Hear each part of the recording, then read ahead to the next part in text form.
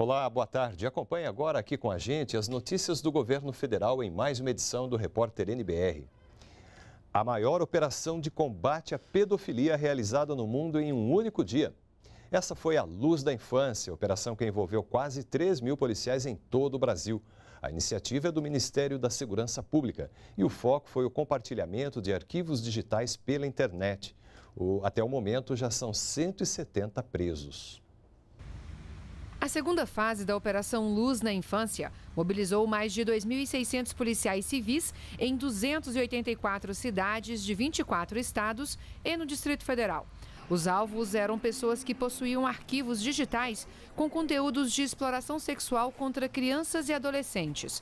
Foram cumpridos quase 600 mandados de busca e apreensão. É importante também destacar que essa é a maior operação para reprimir crimes de abuso exploração sexual infanto-juvenil realizada no mundo em apenas um dia. Durante dois meses, a Diretoria de Inteligência da Secretaria Nacional de Segurança Pública fez o levantamento dos alvos. Foram analisados cerca de um milhão de arquivos, com a identificação das pessoas que armazenavam ou compartilhavam esse tipo de conteúdo. Os dados foram enviados para as polícias civis dos estados. Com base num trabalho bastante técnico e que explora a tecnologia para que nós possamos identificar no ambiente cibernético é, possíveis transgressores.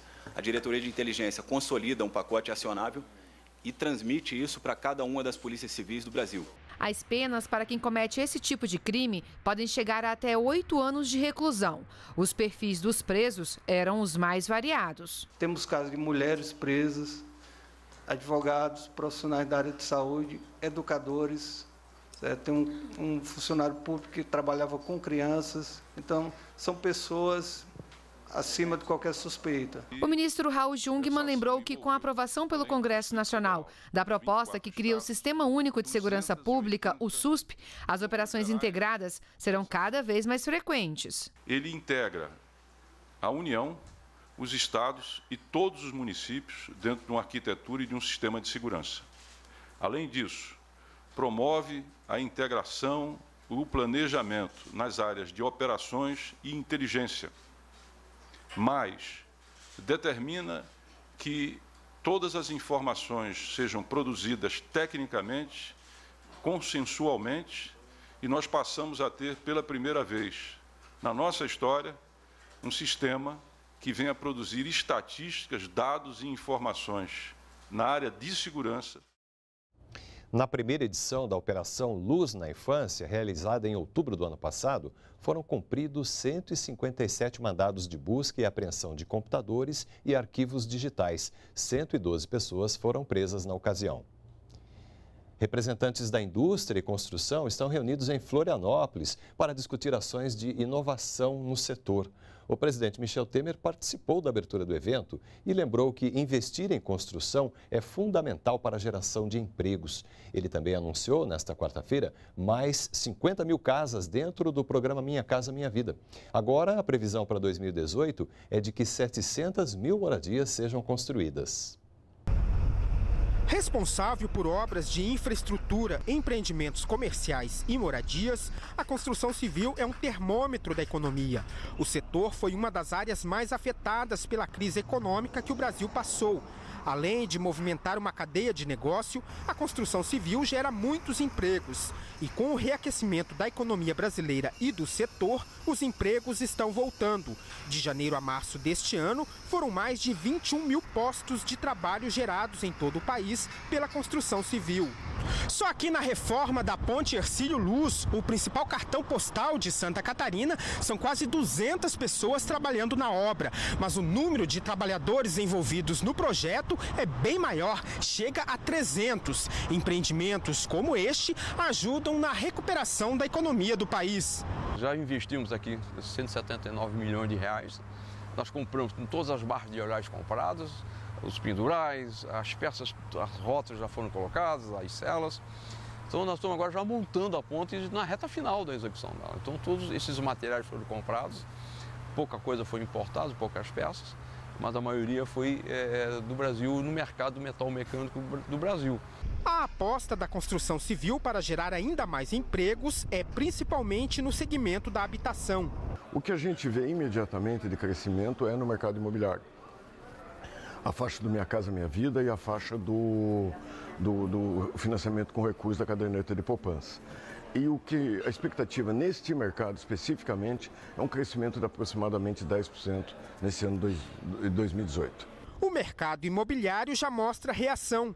Com a nova queda de juros anunciada em abril pela Caixa Econômica Federal, o banco reduziu as taxas para financiamento de moradias e aumentou o percentual a ser financiado. Nosso governo, presidente Michel, fez com que nós retomássemos e de forma punjante a confiança e a busca para que a construção civil, que é uma das mais fortes geradoras de empregos no país, pudesse sair de uma grave crise. E é investindo em inovação e tecnologia que a construção civil busca se modernizar e crescer. Para isso, representantes do setor estão reunidos em Florianópolis no 90 Encontro Nacional da Indústria da Construção. O presidente Michel Temer participou da abertura do evento e falou da retomada do programa Minha Casa Minha Vida. Cada casa representa pelo menos um emprego e meio. Portanto, quando nós produzimos quase 700 mil casas durante o ano, nós estamos pensando não apenas na mobilização da economia, da construção civil, mas também na criação de empregos. Sem dúvida nenhuma, a construção civil é o setor que mais gera empregos no país. Michel Temer assinou um decreto que cria a Estratégia Nacional de Disseminação do BIM, sigla em inglês que significa Modelagem da Informação da Construção. Por esse sistema, é possível acompanhar a evolução de uma obra pela internet. Você consegue é, viabilizar todas as etapas de um projeto, desde a sua prospecção até a etapa de manutenção, seja ele um projeto relacionado à indústria imobiliária, seja ele é um projeto de infraestrutura, todo ele no mundo virtual. Cada vez mais o BIM se consolida como uma revolução por oferecer novas funcionalidades na concepção, planejamento, execução, gerenciamento e manutenção das obras e ampliar radicalmente a produtividade nessa atividade econômica. Vindo aqui é que eu percebo que vale a pena governar, que o Brasil vale a pena e que o Brasil vai continuar a crescer e a desenvolver-se graças a vocês. Ainda em Florianópolis, o presidente Michel Temer assinou a contratação de operações de crédito para o programa Avançar Cidades. No total, vão ser contemplados oito municípios de Santa Catarina, com mais de 45 milhões de reais em investimentos para obras de qualificação viária. Começou hoje aqui em Brasília, no Palácio do Planalto, a exposição Entre a Saudade e a Guerra. A mostra relembra a história da Força Expedicionária Brasileira, grupo militar que representou o Brasil na Segunda Guerra Mundial e lutou ao lado dos aliados, grupo de países vencedores da batalha. Durante a cerimônia de abertura da exposição, o presidente Michel Temer lembrou o exemplo dos homens que saíram do Brasil para lutar pela democracia e liberdade na Itália. Não há homenagem alguma né, que possa, ou seja, bastante para exaltar aqueles que, sob o comando do general Mascarenhas de Moraes, enfrentaram a morte, convenhamos, em nome da liberdade. Aliás, o regime que foram combater eram regimes autoritários, fechados, centralizados, né? de modo que eh, foram combater em nome da democracia. Não era apenas combater em nome do Brasil, mas em nome de um valor que naturalmente permeava, ou deveria permear, como permeia hoje, a vida brasileira, que é a democracia. Foi para isso que eles foram a lutar na Itália.